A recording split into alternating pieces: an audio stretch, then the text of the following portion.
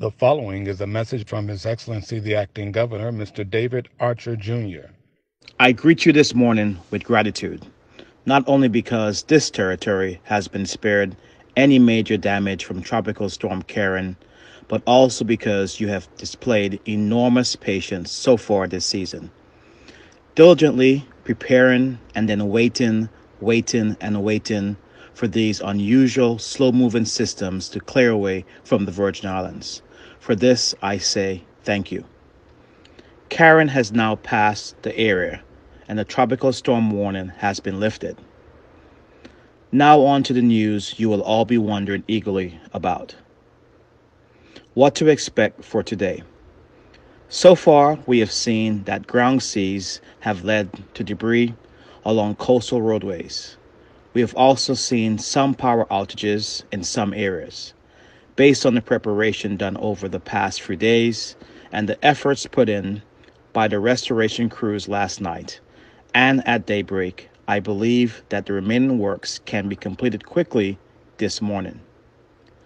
Following consultation with the Premier and on the advice of the National Emergency Operations Center, I give the all clear now and formally deactivate the National Emergency Operations Center. I am therefore reopening the public service at regular working hours. Similarly, school staff and students should report to their campuses at normal school hours. Because there may be some changes to regular ferry operations, and as a result of the current sea conditions, I am further advising that department heads should make time allowances for their staff who commute to and from the sister islands based on available ferry schedules.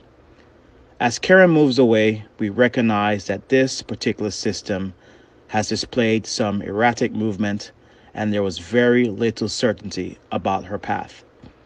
There is still the possibility that the weather conditions in the area will be unstable for a few more days as the system's outer rain bands move away from the area.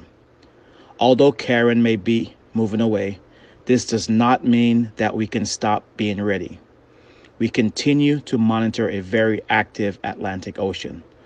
Please keep an eye on these conditions as we remain vigilant for the remainder of the Atlantic season, which officially ends November 30th. In closing, I again want to thank you for doing your part to help the territory achieve a consistent approach to managing hazard impacts and disasters, which involves being cautious, caring, responsible, and to always be ready. May God continue to bless our beautiful Virgin Islands. Thank you. The proceeding was a message from His Excellency the Acting Governor, Mr. David Archer Jr.